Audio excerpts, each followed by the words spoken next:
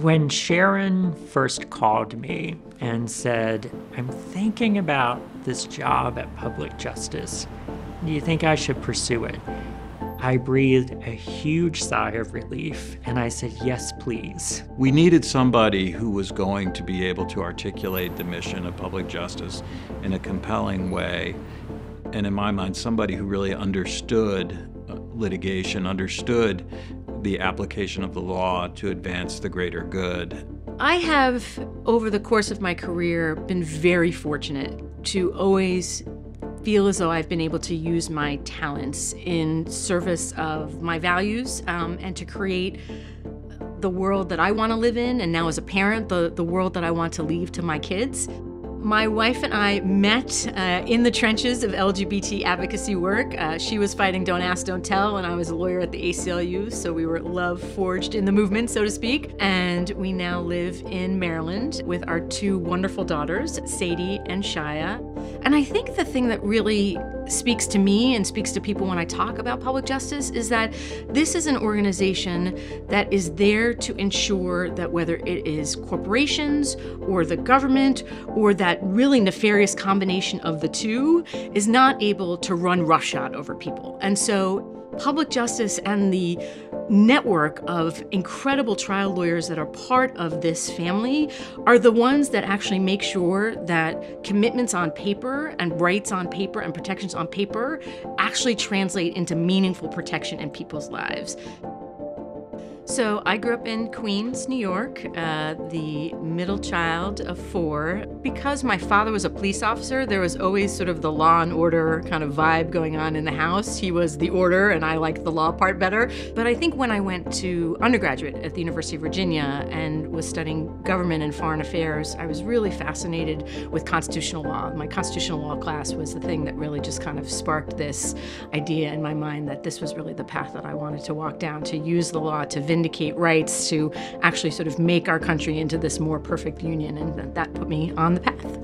Working at the Department of Justice is a really sort of one of those points of your career path that you didn't really expect that you would take. Being able to be one of the voices from the inside that really called the question within the Justice Department about why were we defending the Defense of Marriage Act? It was one of those moments where you like to think you could be part of making that kind of change, but to actually see it play out uh, was really overwhelming. And then, of course, 2016 happened. And I would say it wasn't even as much Donald Trump being elected president, but it was Jeff Sessions being nominated as Attorney General. And I was like, oh, I'll show myself out. Thanks very much. So, literally, it was whatever day it was in February, Jeff Sessions and his entourage entered stage left, and I left stage right, um, and was very fortunate to be able to take all the knowledge that I had built and the connections that I'd built, and then use that to help establish Lambda Legal's first Washington, D.C. office, and, and then engage in that combination of litigation and policy advocacy to kind of hold back uh, what we knew was coming with the Trump Sessions administration.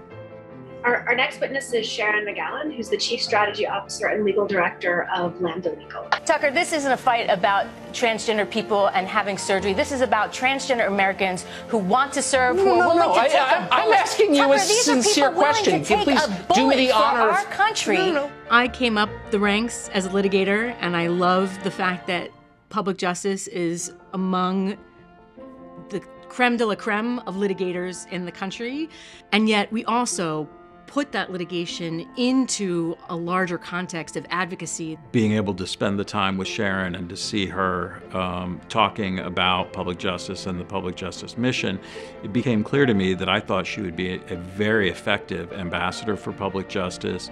And one of the things that struck me is that I feel others inspired by her, and I feel a sense of excitement from staff and from others around her, board members, about her. She will be traveling the country and meeting with our members who are such important partners to the organization and the work that we do, and talking to them about how we can deepen that partnership. I already got my bags packed and I'm ready to hit the road and looking forward to meeting people where they are, learning about their legal practices, learning about their legal communities, um, and sharing the good news about public justice. I would love to see the organization continue to grow and to thrive. I think that Sharon is an absolutely brilliant and terrific and inspiring leader, and I think she's going to be incredibly successful. When I saw that Paul was um, going to be passing the baton, you know, at first I didn't even think that it would necessarily be something um, that I would be able to to take on. But I'm certainly up for the up for the challenge, uh, and I will hopefully every day uh, make the organization proud.